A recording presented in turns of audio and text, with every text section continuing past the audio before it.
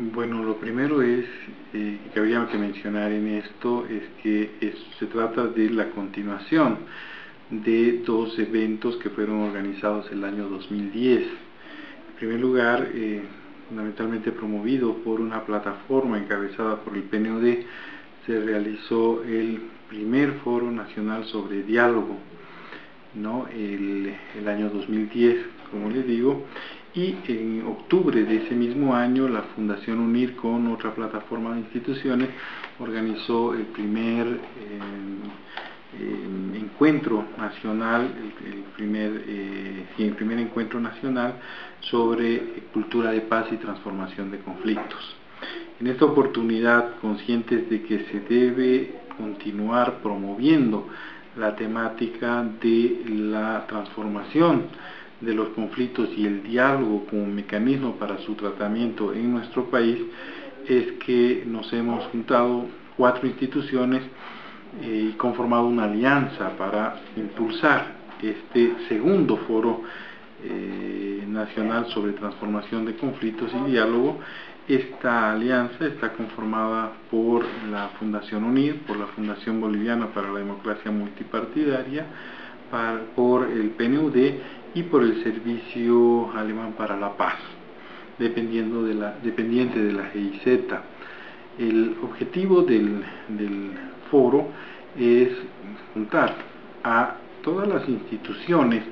que, eh, organizaciones e inclusive personas que en este momento están trabajando en la temática de transformación de conflictos y diálogo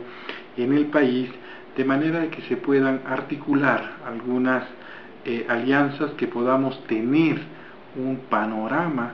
sobre eh, o relacionado con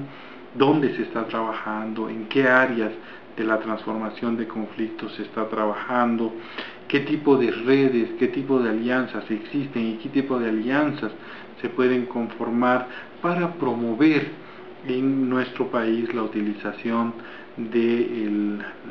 enfoque de transformación de conflictos como una forma de atender a la cada vez más creciente conflictividad que va viviendo nuestro país. De lo que se trata es de identificar estas eh, experiencias que estamos teniendo las diferentes instituciones, contrastándola con lo que en materia de conflictos actualmente nos, tiene el contexto, es decir, hacer una comparación de qué manera la institucionalidad boliviana, ya sea desde instituciones públicas, desde organizaciones o instituciones privadas, especialistas en, en esta materia, estamos trabajando y de qué manera estamos respondiendo al contexto de la conflictividad en nuestro país, de manera de que a partir del foro se puedan articular, se puedan detectar nuevos campos de acción, ya sea eh, de manera individual para cada una de las instituciones o trabajando alianzas tanto a nivel nacional como a nivel local. De lo que se trata es de impulsar, darle un impulso, de no tratar de no eh, duplicar esfuerzos, sino más bien de tener una coordinación más general de lo que significa el tratamiento de los conflictos en nuestro país. ¿Cuándo se realiza este foro y qué es lo que se va a poder apreciar? ¿Qué dinámicas podemos mencionar alguna? El foro se va a realizar el 29 y 30 de marzo en el Círculo Aeronáutico en la ciudad de La Paz y vamos a contar con la presencia de representantes de instituciones de por lo menos unos seis departamentos del país que actualmente están trabajando en ella. Son dos sesiones donde de manera participativa, trabajando en grupos, teniendo dinámicas de interrelación, dinámicas para compartir experiencias, vayamos articulando esta eh, especie de red que nos va a permitir hacer el tratamiento de los conflictos hacia adelante. Ya para cerrar, la Fundación UNIR viene trabajando mucho tiempo en este tema. Tal vez podría brindarnos una aproximación al estado de situación de la conflictividad en Bolivia. Sí, bueno, de acuerdo al último informe de conflictividad que ha sacado la, Fundación UNIR, podemos observar que hay un creciente, que el número de conflictos en nuestro país eh, es cada vez mayor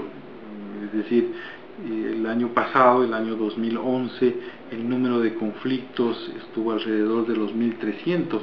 que es en el registro que nosotros tenemos de nuestra base de datos, que ya va por unos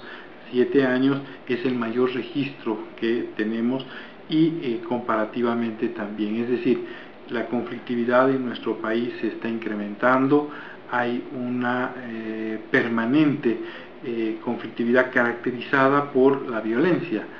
si es que algo está caracterizando a los conflictos en Bolivia es la eh, violencia en el medido o el uso de medidas de presión que por supuesto eh, tienen en la violencia una de sus principales expresiones.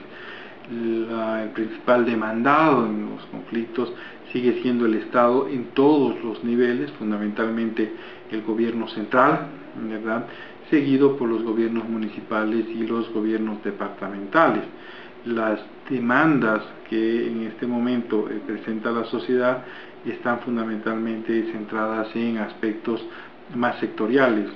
relacionados con eh, temas más económicos. Eso es lo que está caracterizando, podríamos decir que el año 2011 se caracteriza y lo estamos viviendo en este momento por ser un año que va a tener seguramente de los más altos índices de conflictividad de los últimos tiempos.